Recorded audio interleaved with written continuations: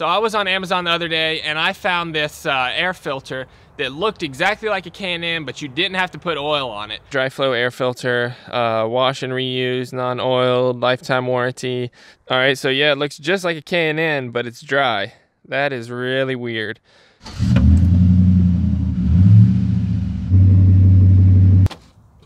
All right, well here's the old filter.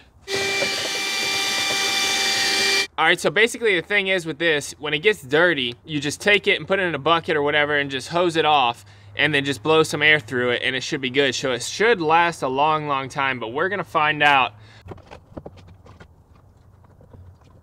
All right, so I got it in here. It's good. It's got a good seal to it.